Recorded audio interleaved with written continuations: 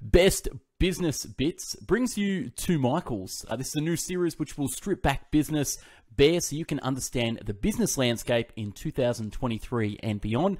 Whether you're thinking about starting your next business venture or looking at taking your already existing business to the next level, this content is made for you. So, no further ado, we have two Michaels. So, you know me, but you don't know the other Michael. Michael, Bronfman, who are you, where you're from, and what is your story? Thank you, Michael. What an intro. Absolutely love what we're doing here. I think it's going to add a lot of value to a lot of people. And more importantly, hopefully people come out of this and be able to implement some of the things we're going to be talking about. A very quick overview on me. So, I basically have been across startups pretty much all my life. I would say across predominantly tech, health, and fintech type of businesses, and now part shareholder of a company in the sustainability space, which is a very interesting space. So, just to go quickly around my background, so I founded my first company when I was 18, which was essentially a booking platform in the beauty industry, which was formed and founded because of a problem that was found, and that was to be able to book appointments on the go to within the beauty industry.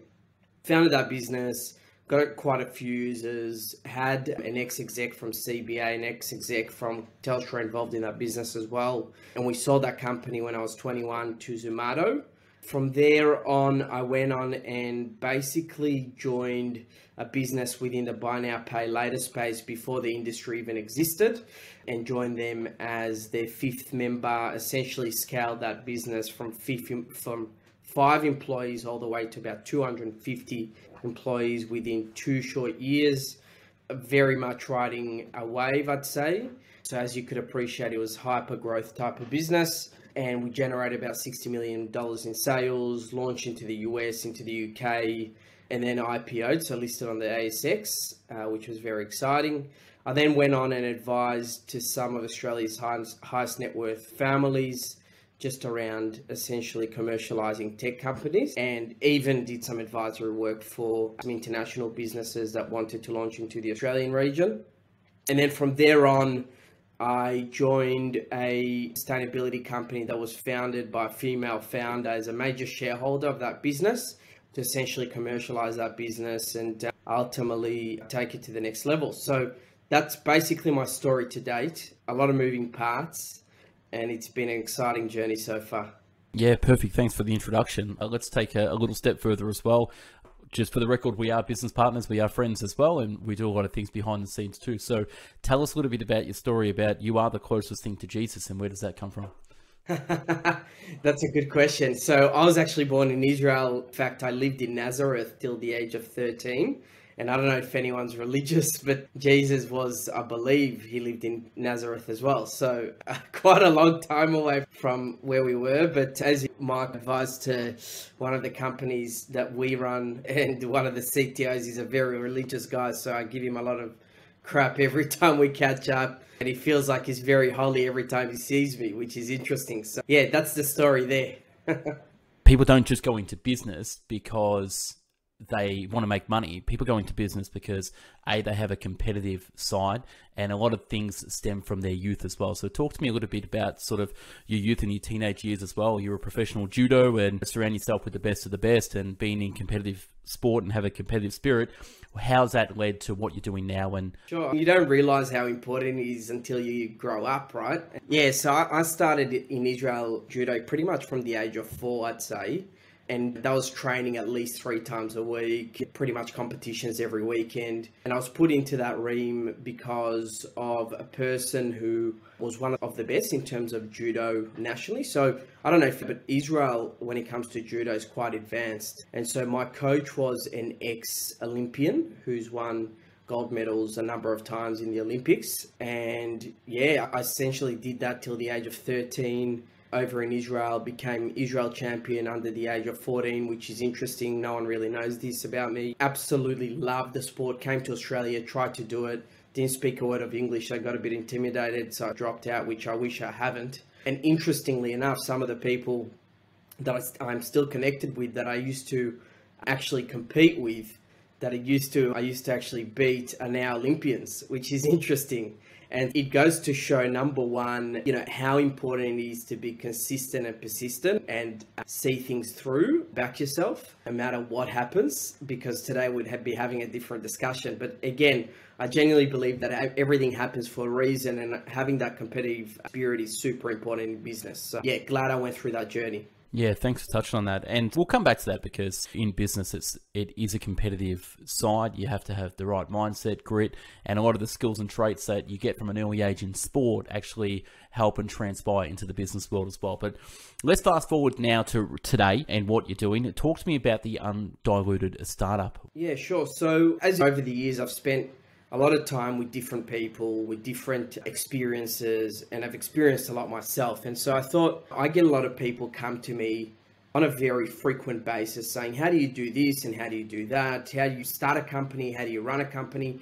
How do you in mindset while running a company? Very common sort of type of questions around business specific. And so what I've decided to do is essentially create, I guess what you'd call an online course to be able to give people my experience in a very short period of so I've basically as you could appreciate I've made a lot of mistakes in my lifetime in business. I've spent a lot of money in business and I see a lot of value of being able to being myself 18 year old again going back and giving that expertise to other people that are either looking to start a business or looking to scale their companies. That allows them to essentially save a lot of money and a lot of mistakes that I've made.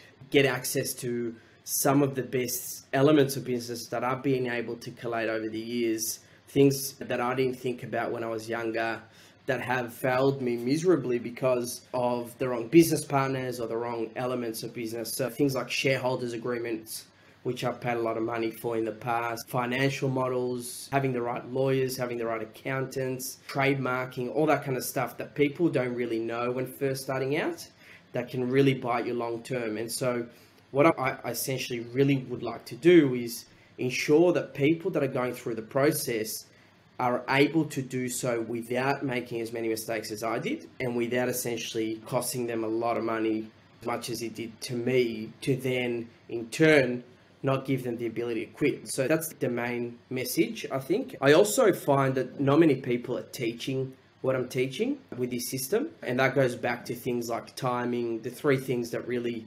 impact the success of a business, and that's timing, people, essentially funding. So I think a lot of people are not teaching about looking at things like trends or thinking about trends and also working with the right people and making sure you've got the right people on board. Not having not pretending that you know it all i think is very important. Understanding that there's people that are much much better than you in areas of business that could bring a lot more value which then allows you to then scale at a much faster rate. And i think starting out in business you don't really realize that right or you don't know where to access those people or you don't know how to do it or you don't know how to structure the deal in a way that doesn't cost you millions of dollars and so that's something that I really would like to teach people. I think it's super valuable. I think. Yeah, thank you for sharing.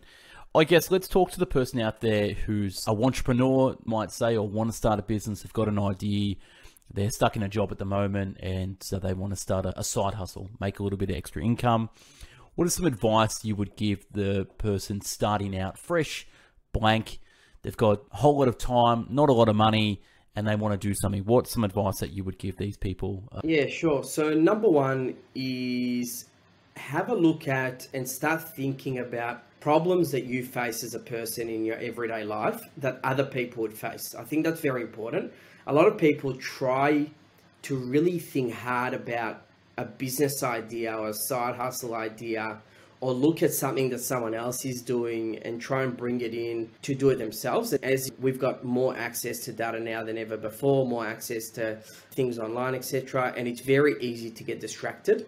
I think it's very important to fall in love with the problem rather than try so hard to think about a business idea as such. Number one. Number two, I think it's very important to surround yourself with people who have had the experience in running successful companies or have had experience in business in general, right? And why that is, is because number one is there's a lot to learn from that. And number two, it allows you to access resources more importantly, which you wouldn't have early on that opens a lot of doors. I always keep saying, as this, Mick, it takes one connection to change your entire life, right? And so I think that's super, super important. And then number two, uh, depending on how young or how old you are, which doesn't really matter, but I think just having the mindset that it takes time, like it's not something that you can do from today to tomorrow that will start generate you the quick results that everyone's looking for. It takes years. Like for me, to be able to walk into a room and get, give advice that's going to save you from a hundred thousand to a million dollars, or make you a hundred thousand to a million dollars, it's taken me 15 years of experience. Right? You, can't do that as an overnight. So I think for someone looking to start out, number one is look at problems and trends that fit well with what you enjoy, number one, because if you don't fall in love with it, you're never going to do it well enough or you'll give up quickly. Number two is surround yourself with the right people, start networking, the right people that have done basically what you want to do essentially and learn how to do that. And then, yeah, number three is just basically be consistent, persistent, and understand that you're going to fail a hundred times and be comfortable with failing. There's nothing wrong with it. I actually get excited when I'm uncomfortable, right? So I think just get comfortable being uncomfortable is very important. Otherwise, you become too complacent and it's just too hard to beat the competition. So hopefully that answers your question. Perfect. Yeah, I'll add two things on that. When you said talk about your current problems, so that's how Best Book Bit started. So people that don't know the Best Book Bit story, I read 50 to about 250 books in a matter of about five years to research my first book, Success in 50 Steps, and then went through a period of traveling the world, doing everything but reading. And then I come to a stage, I think, in 2016 where I wanted to reread the books that I read many years in the past, but I didn't have time. So I thought I wanted to absorb the knowledge on the go. So what I did, I got a microphone, I typed down all the notes that I used to read a book with a pen and keep various notes in the books. So I basically, for my own selfish reasons, I recorded the summary and uploaded it online so I personally could consume the content. I did that for about 50 50 audios and I didn't understand what SEO was at the time. People started to type in the book title and found my audio recording and liked it. So I didn't create Best Book Bits for the world. I created Best Book Bits for me first and then it snowballed from there with the website, putting the written summaries on, the YouTube with the video, and then six years later, over a thousand book summaries, having the world's largest free book summary platform, all started with my own personal problem that I wanted to consume content on the go, and I wasn't looking at the market to see if there was already audio summaries out there, video summaries. I, I was very selfish and I was in my own lane and own shell as well. So I agree with you there. Definitely look around your own backyard and see what problems that you're struggling with, and then other people are, are, struggling with the same problems too. Number two, some advice I would give people that's starting up, if they want to start their own business, is don't think about starting your own business. Go to work on finding and networking with people who have a startup. So become that number two person, that number three person in that company as well. Go out and give value. So the cheapest, highest value you can give someone is your time. So it costs you nothing but time and you can give value. So whether that's your labor, whether it's just getting around them, asking them what what help do you need, sometimes that is the best thing you could do and you could possibly get equity in that particular company or get a position of title which is going to help either on your resume or it's going to help in your life skills as well. So don't think about you have to be the builder. Sometimes you can just be the bricklayer. Sometimes you can just be the laborer to the builder. So that's another thing as well you can give for free. So start looking for opportunities young. If I would go back to my 18 year old self, I would pay high money for seminar tickets and sit on the front row and network with the people who are already making money and doing things and asking for how can I add value in your company? Work for them for free. Just get around the people who are doing something and then that will transpire with you doing something as well. Hopefully that makes sense. Absolutely, 100%. Couldn't agree more and just being proactive, like being proactive and always trying to add value is so important because you can teach skill, but you can't teach personality, right? or you can't teach your hunger, if that makes sense. So I think it's very important. That element is very important to business. Yeah, people are looking for energy. People want people with energy to come in. Let's move the conversation on to people who have a business right now. They might be stuck at a certain level and want to take the next level as well, and they've got something good going on. Talk to those people that have a business and, yeah, want to take it to the next level. What advice would you give them in the current market of going into 2023? time and time again, I see this business owners always working in the business. Like it's having your 24 hours a day spent in the business, not working on the business, which I believe stagnates your growth. And what I mean by that is when you start a company, a lot of people feel as if it's their baby, which is interesting. But I think just focusing on getting yourself working on the business rather than in the business more hours and as quickly as possible is so important, right? Because I'm a big believer of being able to bring in the right people, as I said before, to areas in your business that could elevate your growth or your elevate your brand or elevate whatever area in the business that you're lacking. Very important. Number two, I talk a lot about the 90 10 rule, which I've learned from some of Australia's most influential business leaders. A lot of the time, when I first was starting out, I was spending probably 80% of my time on things that were going really well in the business, which in turn, I realized later that if you spend 90% of the stuff that's going wrong in your business and 10% of things are going right in your business, you can essentially allow yourself to improve things in the business and understand which levers to pull to elevate your business a lot quicker in a much safer way, basically. And I've learned that I did that, implemented that across companies like OpenPay, for example, and allows us to scale at a much faster rate. I think also not trying to own everything is very important. So, understanding what you're good at and what you're passionate about, and then placing yourself in that role is very important. So you see a lot of people starting a business who are in CEO or management roles that just simply shouldn't be in that role purely because they're just good at something else, right? So not having an ego and understanding un- understanding deeply what you're good at and then stepping aiming to step towards that role and then bringing other people that are much better in like management for example or being a CEO of the business if you're good at product development, for example, you should be in that role, right? If you're good at uh, marketing and you're the best of the best in marketing, you should be in. So I think it's important. Number one is to understand the business deeply at the start, absolutely, and touch every touch point and wear multiple hats, etc. But then very quickly bringing the right people in, I think, is very important. So they're probably the key things I'd say for those starting out. Also, leverage. Like, I think leveraging other brands is super important early on. So, I'll give you an example now at Bearstop, for example, which is a business that I'm commercializing at the moment. We're doing deals with some very credible brands, right? The likes of Qantas. We've just done a deal with MasterCard. So, brands that have credibility and people trust that brand. And as a young business, as our marketing budgets are not as large as some of the other companies' marketing budgets. So, how can we align ourselves and our company with these brands and market to their customer base to allow us to then gain leverage over the short and long term period and then flip the coin where we then become that larger brand?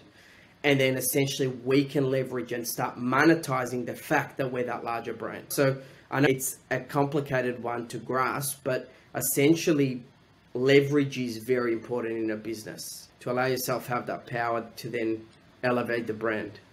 Great advice.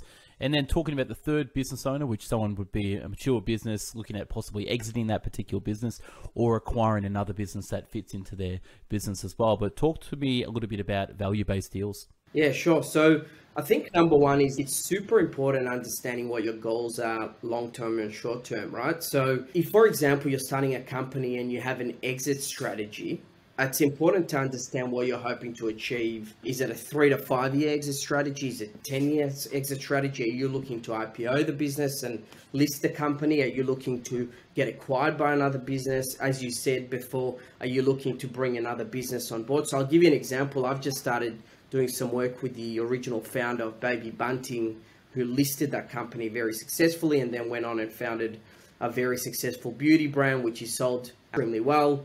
And he's recognized, he just started a, a tea brand called Matcha Maiden.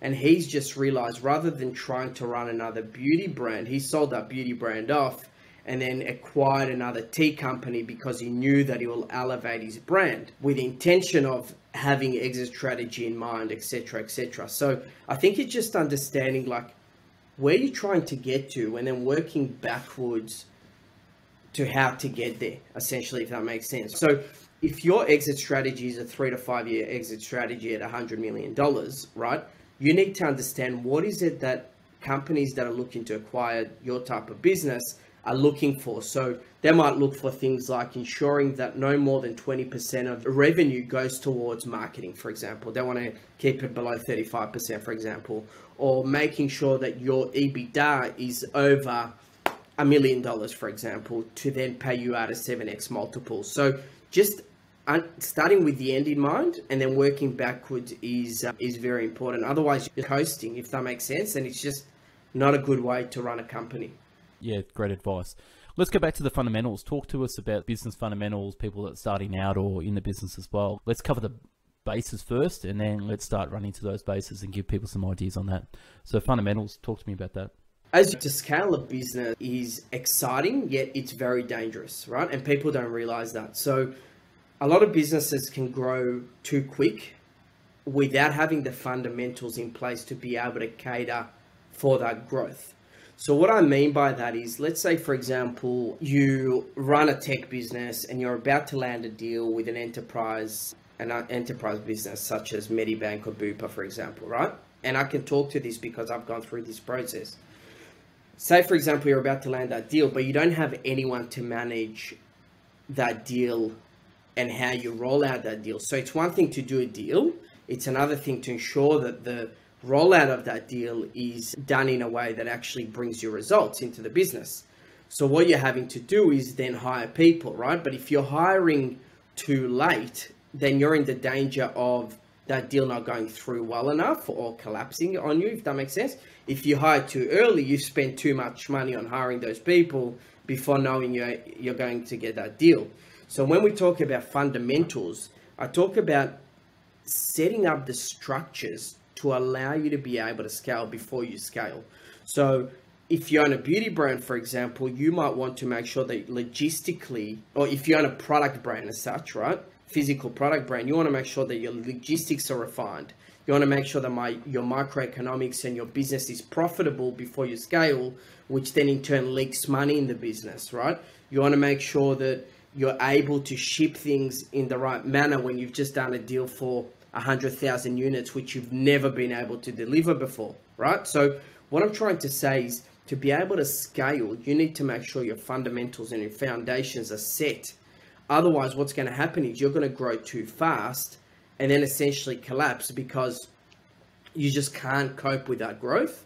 And companies do that over and over again where they have this exciting organic growth, which they didn't even plan for and then they're like, we can't keep up with this, we can't, they collapse. Or companies that have raised money recently, for example, talking about 2023, 12 months ago, you look at companies raising money at absolute crazy valuations that are never heard of, right?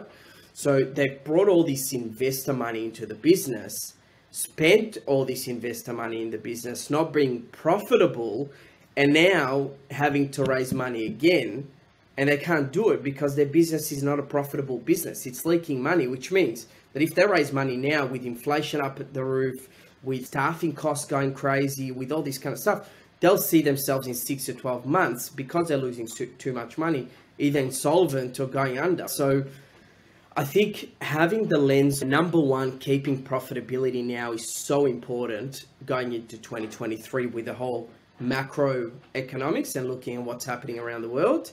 And number two is, yeah, being able to set the foundations to come out once the bear market's out much stronger, right? I think it's stuff that we really need to start talking about. And you're seeing big, large companies around the world actually having to get rid of like 17 to 20% of their workforce, right? Which is not a comfortable to be a position to be in. So if let's say you're a young business now, how can you keep your business as lean as possible and get the best optimal results in that business so that you're not having to let staff go, for example. So there's a lot to think about going into 2023, but I think it's very exciting times because we'll see some very exciting companies come out of this, and we're seeing a shift in the world, even just around finances, like how there's digital currency coming out. Uh, it's you look at historical data, you can really understand where we're going based on that. Yeah, perfect. Yeah, there's a lot to take in. You touched on something that I want you to expand on.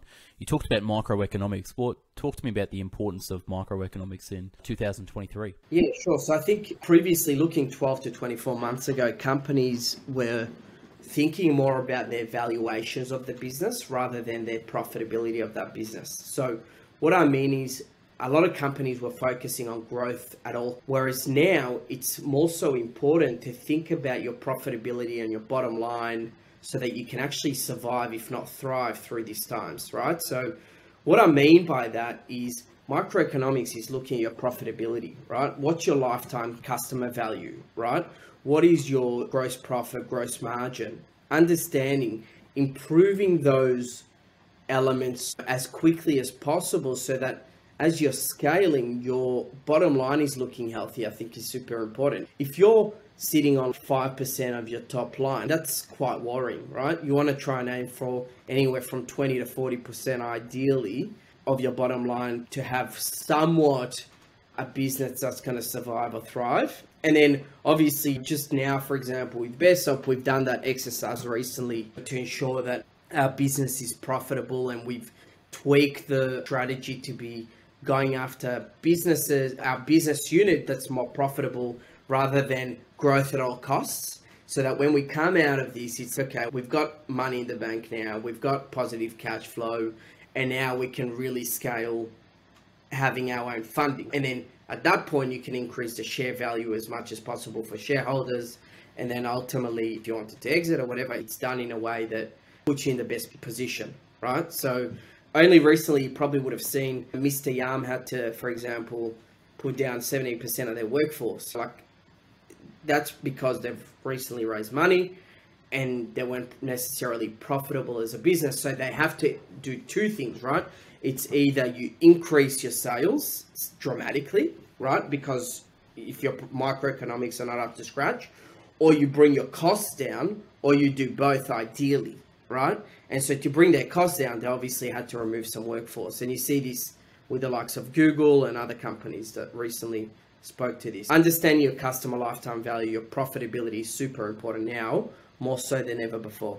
Yeah, thank you for sharing. And let's switch gears a little bit as well. So in I do personal development coaching. I coach people with business, health, and mindset, and we'll jump into some mindset soon. But a lot of the times your worst enemy is not external. So your worst enemy is your inner me. And that's because you're too close to yourself. You're too close to your goals. You're too close to your life.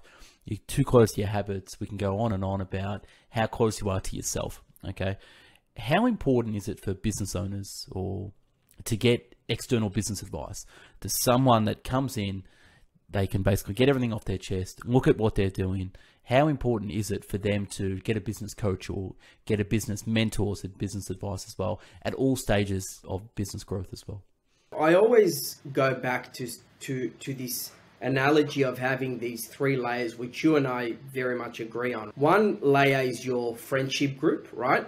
And your family, which you're always going to have around and you will always be able to go back to. Then you have the middle layer, which is essentially the circle of like minded people that pretty much on your level have done the things you've done. You can talk the same language, understand, you know, where you're going and what you're doing.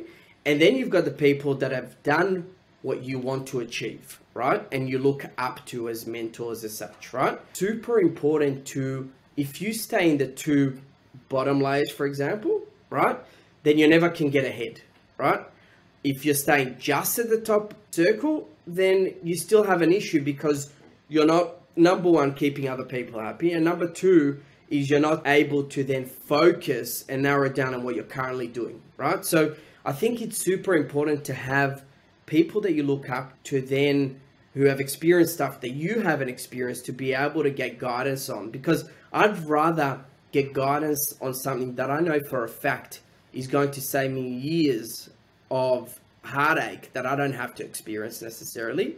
And also, it's going to save me a lot of money based on the mistakes and ex- expertise that they've made. So, as our business, for example, specifically, we've got a very strong advisory. We've got the likes of X, uh, L'Oreal and Aesop, etc. people who have got market expertise, and then you've got people who have had like really strong business expertise. That's as a company lens. Then, on a personal level, from a personal development perspective, it's important to then go, all right, I want to put my health first, for example. Who do I need to go to ensure that I do it in the most efficient way possible? So then you go to people who have researched this space for 20 years, who have subject matter expertise to then go for it. You know this better than anyone. And then same thing with business. It's just the way it goes. Like you really need to not rely necessarily, but spend more time with people that have done the things you need to do because then you learn. And it's the best way to learn right? You and i both know this more so than any anyone before. Like we network like network like crazy. And i've got three degrees university degrees and i can tell you now that i've learned more in the past 24 months than i've learned in my life. So yeah i think practicality and doing things and being becoming uncomfortable is super important. Yeah, I want to. I just want to add on that analogy of the three layers. So my analogy of that three layers is there's your friends and family who you're going to walk with, and you can walk with anyone. And then there's that circle of people that you want to drive with. Okay, so you've got walk in, drive, and then there's only a certain people which you want to fly with. So you've got walking, driving, flying. We all walk with our friends and family and anyone. There's only a certain amount of people we want to drive a car in a car with that understand us. So they're your close circle of people that you can open up just to your close circle of friends and business partners as well. But then there's those people that are in the sky, in the clouds and dirt, and you want to fly. So that's my analogy of, of the three layers. You can't spend all the time in the air with these people because you've got to come down to earth. You've got to come down to ground. So you've got to be grounded. So your friends and family ground you the people in the sky, the people you walk up to. You see a private jet or a plane in the sky walk up. That's who you want to be, but you also want to drive there as well. So they're your three different vehicles, and you just got to, yeah, keep grounded, keep your mind in the sky, but also go fast on the ground in a car with the people that you want to work with as well. So that's just my little analogy through there. And yeah, exactly like you said. So I was at the gym this morning. I did a six month body composition. I got injured, put on some weight again, and I thought, you know what? My wife started PT. She got this personal trainer. She's doing really good. She's happy. And you know what? I'm just going to pay the money for a new coach. I know what I'm doing, get the results. I just need accountability and I need to stop doing it myself. Yes, I know the stuff, know the information, know the ins and outs of health, watch all the videos, writing the book on it. But at the end of the day, I just need to partner with someone who's already there and does this full time. I don't do this full time. I do multiple things. So same with business.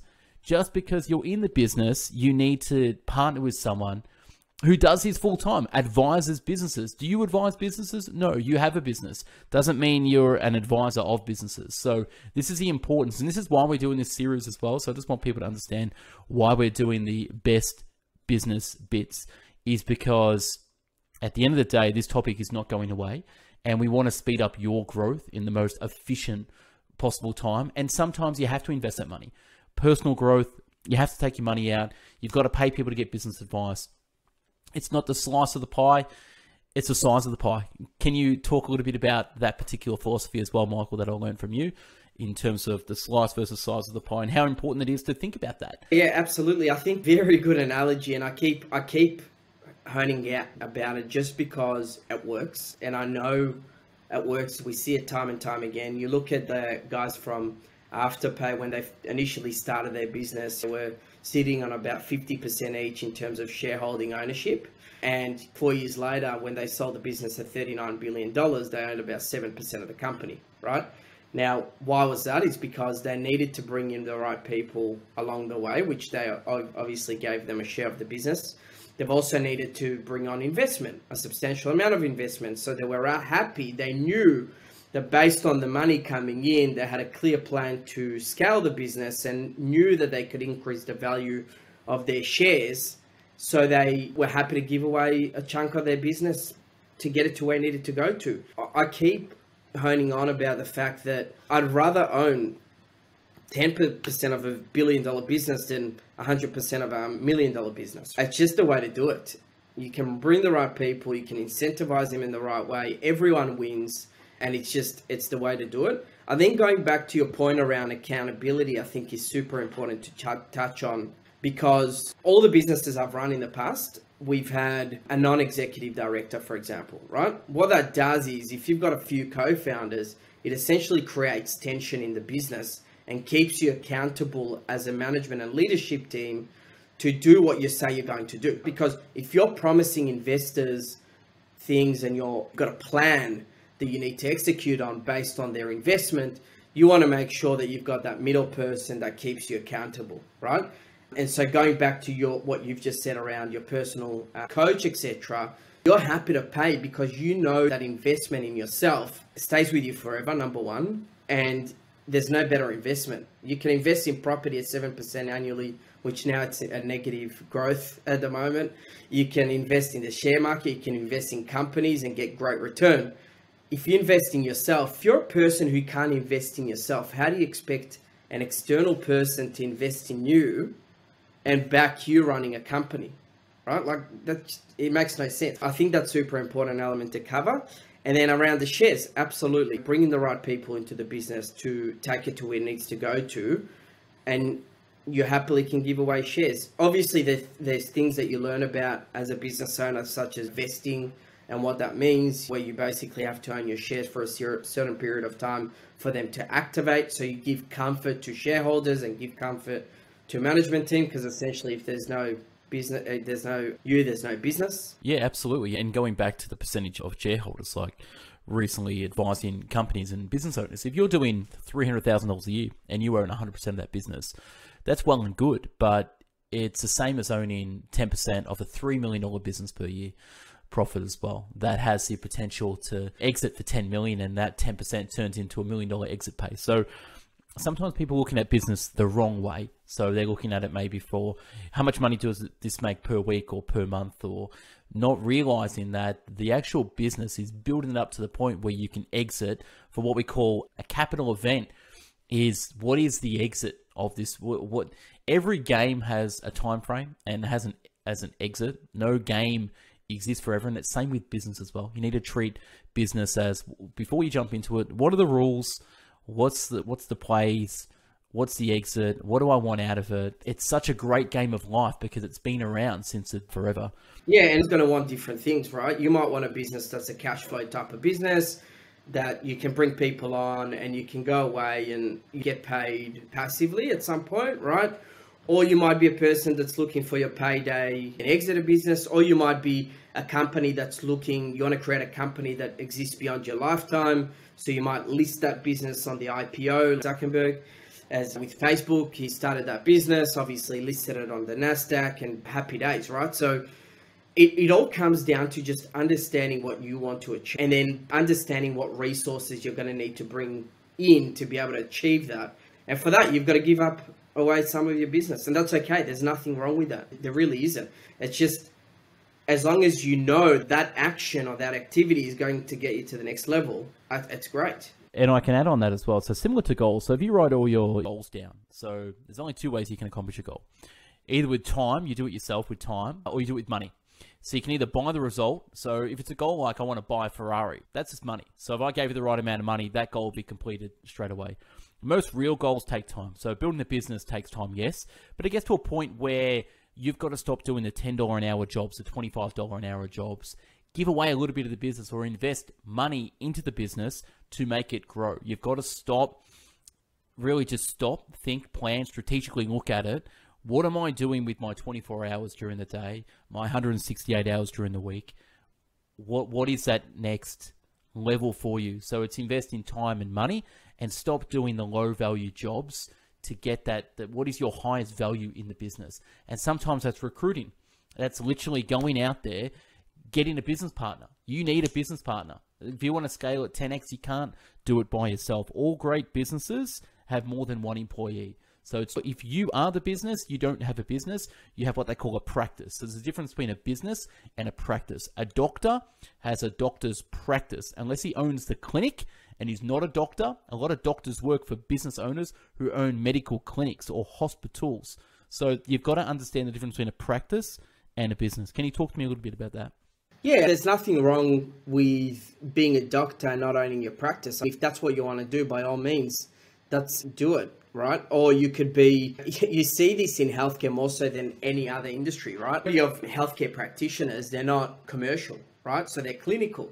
And what that means is that they're basically are very good at what they do clinically, right? So they don't know how to run the business majority of the time, and, and that's okay. There's nothing wrong with that. But at the same time, you look at someone like Kia who owns Smile Solutions, who I've had the privilege to do some business with in the past. And the guy's a business machine and he's clinical as well. He started off as a dentist and then opened one of the most successful dental clinics in Australia with, I don't know, I think they've got like 10 rooms or probably more than that and own a building in the city practically and he understands the value of commercial commerciality. Yeah, I think that's all good and well. And then the other thing I guess that we haven't really touched on is again understanding why you're doing what you're doing, right? Are you doing it to buy yourself a job and that's what you want to do?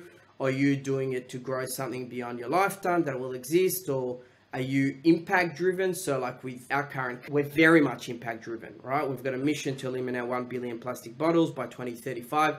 That's why we do what we do every day, right? Impact a purpose for profit business, right? I think it's just understanding what you're good at, what you want to do, and then again, leveraging other people's skills and experience to move ahead and move forward in areas that you don't know how to do. And if you're a doctor or a surgeon, and you want to have a successful practice and you're not good at running that business, then bring someone to run it for you. Bring a CEO. Bring a. You look at primary dental care. Like they're, they're one of the biggest dental groups in Australia. They've got a proper leadership management team in place, but essentially would have been started by someone who's probably clinical. So that's what I think we were talking about. In is just understanding that. Let's put a bookmark in this chapter and we'll come back to this. So, this is going to be an ongoing series where we talk about business. We might invite other business people on as well to break down their business too. But if people that want to find out more about what you do or how can they work with you with business advice, where, what would be the best place uh, to find it? Is that the Undiluted Startup or? Yeah, so obviously I'm across socials, Instagram, LinkedIn, Facebook, etc. It's probably the best place to reach me. Otherwise, Diluted Startup is basically established now, but we're working through the course at the moment as we speak. But that's certainly one area where I'll be teaching a lot of my expertise with. But feel free to reach out to me on socials, no problem, uh, or via email at hello at michaelbronfman.com. Uh, that's another place you can reach me and yeah, I'm sure I'm sure you'll see our brand a lot more moving forward. Yeah, perfect. I want to thank you, Michael. But yeah, again, if you're a entrepreneur or a business owner and just need some advice on, or you're stuck, reach out to myself or Michael as well. We both can help with some business advice and life advice as well and put you on the right track too. But Michael, I want to thank you for your time. This is best business bits, part one. We'll definitely come back for a part two and three. And yeah, appreciate your time again and enjoy the rest of your day. And I'll speak to you soon. Okay. Thank you for having me. I'm pumped. Thanks.